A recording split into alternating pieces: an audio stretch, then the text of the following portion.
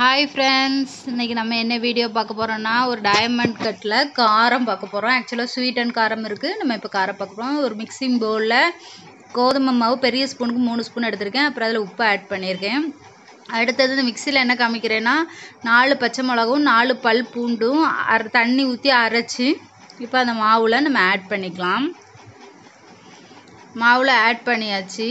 அதுக்கப்புறம் நம்ம இப்போ வந்து இதில் ரெண்டு ஸ்பூன் குக்கிங் ஆயில் நான் வந்து செக்கு கடலெண்ணெய் ஆட் பண்ணுறேன் நீங்கள் குக்கு குக்கிங் ஆயில் எதுவாக இருந்தாலும் அதில் ஆட் பண்ணிக்கலாம் ஃப்ரெண்ட்ஸ் அதுக்கப்புறம் இதை வந்து ஒரு சப்பாத்தி மாவு கன்சிஸ்டன்சிக்கு நீங்கள் நல்லா பிசைஞ்சு வச்சுக்கோங்க. ஓகே இதை நம்ம இப்போ சப்பாத்தி மாவு பெச பதத்துக்கு பிசைஞ்சு வச்சிட்டோம். இதை வந்து இப்போ நம்ம சப்பாத்தி மாவு உருட்டுறதுக்கு தேவையான அளவு சின்ன சின்ன உருண்டைகளாக அதை இது பண்ணிக்கலாம். இப்போ நம்ம வந்து மாவு ட்ரை பவுடரை இப்படி நல்லா ஸ்ப்ரெட் பண்ணிவிட்டு தேய்க்கிற கல்லில் இப்படி நல்லா ஸ்ப்ரெட் பண்ணிடுங்க சப்பாத்தி மாவு தேய்க்கிற கல்லில். அதுக்கப்புறம் நம்ம சப்பாத்திக்கு உருட்டுற மாதிரியே தான் உருட்ட போகிறோம் ஸோ நம்ம இப்போ பூரி கட்டையை வச்சு சப்பாத்திக்கு உருட்டுற மாதிரி இப்போ உருட்டிக்கலாம். ஸோ இந்த மாதிரி உருட்டணும்.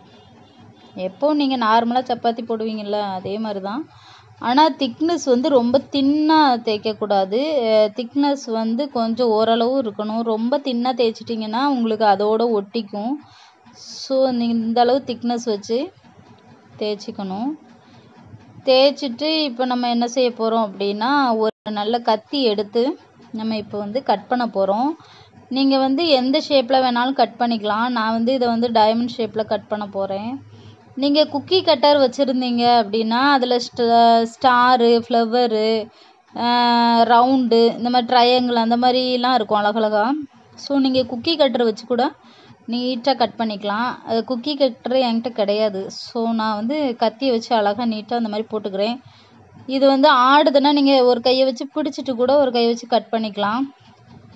ஸோ அவ்வளோதான் உங்களுக்கு இந்த மாதிரி அழகழகாக டைமண்ட் ஷேப்பில் வரும். எனக்கு பாதி டைமண்ட் ஷேப்பில் வந்திருக்கு பாதி ரெக்டாங்கிள் ஷேப்பில் வந்திருக்கு.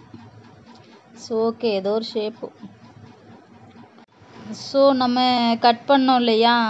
அதே மாதிரி எல்லாத்தையுமே தேய்ச்சி இந்த மாதிரி கட் பண்ணி இந்த மாதிரி ஷேப்பில் நீங்கள் அப்படியே எல்லாத்தையும் ஒரு பவுலில் அப்படி வச்சுருங்க.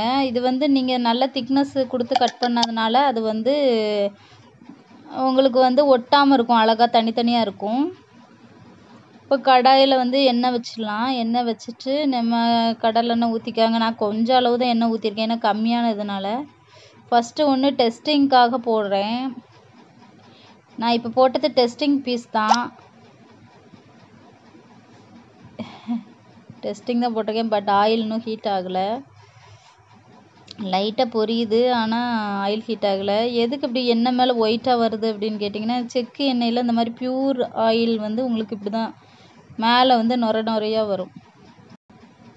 இந்த பீஸ் வந்து டெஸ்டிங் பீஸ் இன்னும் வேகலை. ஸோ இன்னும் கொஞ்சம் ஆயில் சூடாகணும்.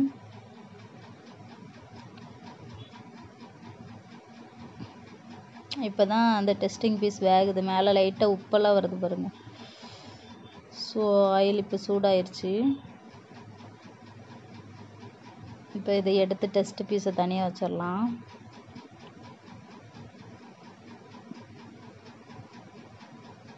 இப்போ வச்சுட்டு நம்ம கொஞ்சம் அதாவது ஒன்று ஒன்றா போட்டால் விடிஞ்சிரும். அதனால் கொஞ்சம் நிறைய நிறைய ஒரு பதினஞ்சு பீஸு அந்த மாதிரி எடுத்து எடுத்து போடுங்க. பதினஞ்சு பீஸ் எடுத்து போட்டு ஃப்ரை பண்ணுங்கள் கொஞ்சம் நல்லா கிளறி விடுங்க. இது ஒன்றோட ஒன்றுலாம் ஒட்டாது. நீங்கள் எண்ணெயில் போட்டோன்னே தனித்தனியாக பொரிய ஆரம்பிச்சிரும். ஸோ கரண்டிலலாம் ஒட்டாது. அந்த பூண்டு பச்சை மிளகாவுடைய ஃப்ளேவர் வந்து இதில் நல்லாயிருக்கும் இந்த டைமண்ட் கட் காரத்தில். ஸோ அதுக்காக தான் அதை ஆட் பண்ணுறது இப்போ பாருங்கள் இந்த குட்டி குட்டி பூரி மாதிரி உப்பி உப்பி வருது பாருங்கள் இப்படி வருதுனாலே நல்லா வேகுதுன்னு அர்த்தம். ஸோ நீங்கள் லைட்டாக ப்ரௌனிஷ் ஆனோன்னு எடுத்துருங்க. இல்லை ரொம்ப விட்டுட்டீங்க அப்படின்னா அது வந்து கருப்பாயிரும். ஸோ லைட்டாக ப்ரௌனிஷ் ஆனோன்னு எடுங்க. ரெண்டாவது ஃப்ளேம் வந்து ஃபுல் ஃப்ளேமில் வைக்கணும். சிம்மில் வைக்கக்கூடாது. வச்சா உங்களுக்கு வராது. ஸோ ஃப்ளேம் ஃபுல்லாக வச்சுட்டு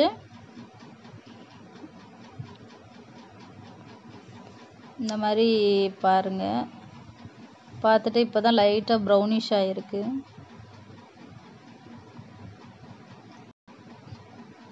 இப்படி கிளறி விட்டுக்கிட்டே இருங்க அப்போ தான் நல்லாயிருக்கும்.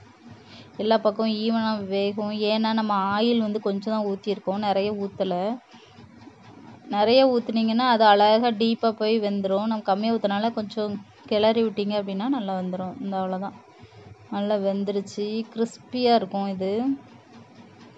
ஸோ நம்ம இப்போ ஒரு பிளேட்டுக்கு இதை மாற்றிடலாம் நம்ம இப்போ எல்லாம் ஃப்ரை பண்ணியாச்சு. ஃப்ரை பண்ணி ஒரு பிளேட்டில் வச்சாச்சு. இப்போ நம்ம காஃபியோட ஈவினிங் ஸ்நாக்ஸ் ஷேர் பண்ண போகிறோம் ஓகே நெஸ்கஃபே சன்ரைஸோட டைமண்ட் கட் காரம். சாப்பிட்லாமா?